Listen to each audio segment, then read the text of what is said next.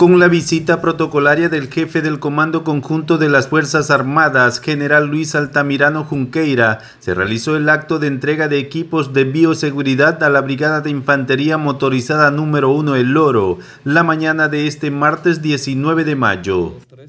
Bueno, el Comando General del Ejército ha realizado una planificación de visita a lo largo de diferentes unidades militares Hoy hemos tenido la oportunidad de estar acá en la Brigada de Infantería número 1 El Oro, que es una brigada emblemática, una brigada histórica para nuestro ejército. La ceremonia contó con la presencia del gobernador Danilo Maridueña, de la viceprefecta Carla Puertas y el alcalde Darío Macas. Los kits de ayuda consistentes en mascarillas, trajes, gorros y batas quirúrgicas, químicos y bombas de fumigar fueron donados una parte por el Comando Conjunto y otra por la empresa pública y privada.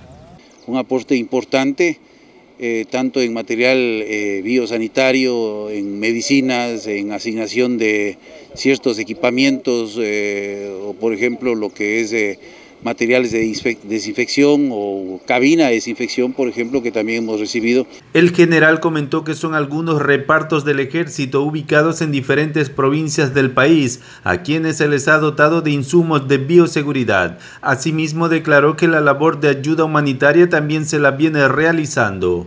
Las Fuerzas Armadas, y hablo en general, ha entregado 250 mil kits alimenticios a las eh, familias de más escasos recursos y de acuerdo a las distribuciones eh, que se vienen realizando en los diferentes eh, eh, COES, ya sea a nivel provincial como a nivel cantonal. El acto se cerró con la entrega de esquelas de reconocimiento a las autoridades provinciales por su aporte a la institución militar. El general exhortó al personal militar a continuar trabajando con profesionalismo en apoyo a la población orense mientras perdure la emergencia sanitaria.